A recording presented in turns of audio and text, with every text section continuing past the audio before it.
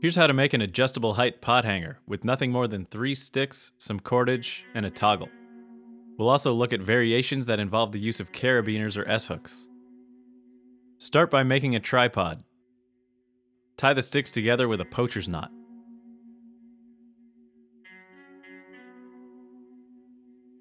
Other knots can be used here, but I like the poacher's knot for this because you can form it by itself then slide it onto the stick bundle and easily adjust the tension of the loop.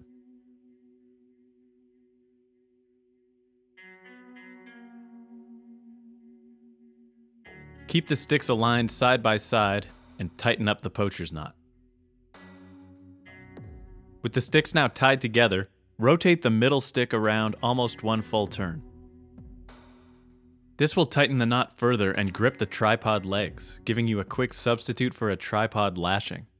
This will be more than secure enough to hold the tripod together and support the weight of your pot. Once we have a tripod, we can start making the height adjusting mechanism. Tie a small alpine butterfly knot at the top of the cordage hanging from the tripod, which creates a fixed size loop. This will act as a pulley, analogous to the operation of a trucker's hitch.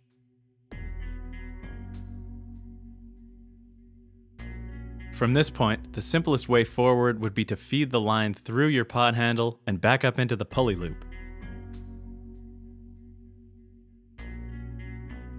Then we can pull more of the line through to raise the pot and gradually release the line to lower it. The working end can be tied off to fix the height. But this method has some major drawbacks.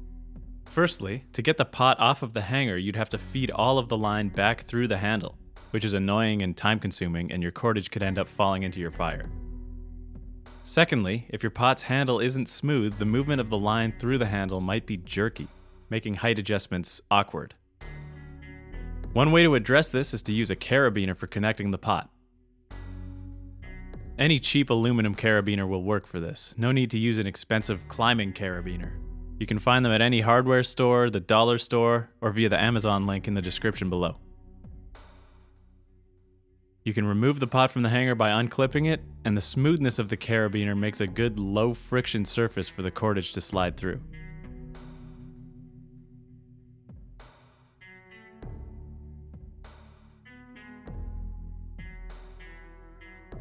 Similarly, you could use an S-hook instead of a carabiner for the same purpose.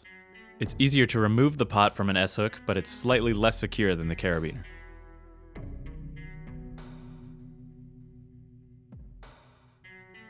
You can also use a second carabiner on the top loop to help lower the friction on the line as it moves through the pulley. This relates to why I prefer to use paracord for this setup rather than the usual tarred bank line, because we actually want our cordage to have less surface friction, so it can slide smoothly back and forth through the pulley.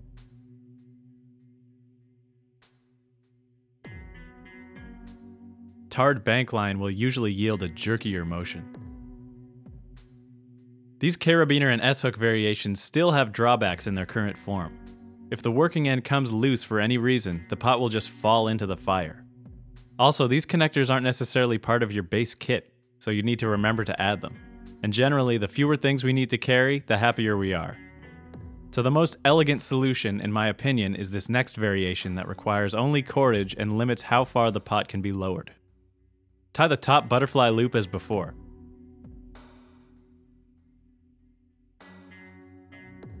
Then at the lowest position you want your pot to hang, create another alpine butterfly loop. The pot will never go any lower than this bottom loop, even if the working end is completely loose.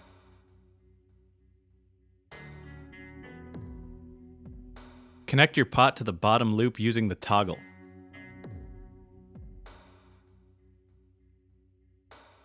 Then feed the rest of the line through the upper loop until it's taut. Now you can pull more line through to raise the pot and release the line to lower it.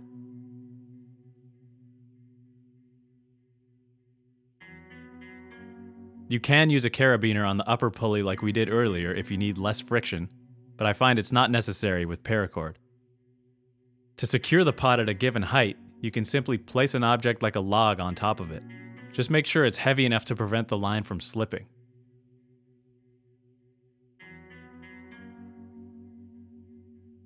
You could also tie it off to a nearby object like a tree or a tent stake using a taut line hitch, so you can adjust the height without untying the knot.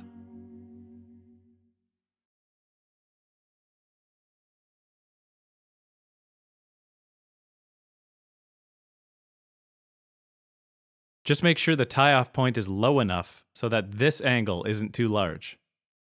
Otherwise, you might be putting too much lateral force on the tripod, causing it to tip or destabilize. I hope this is useful, and let me know in the comments if you discover any ways to improve this configuration further. Until next time.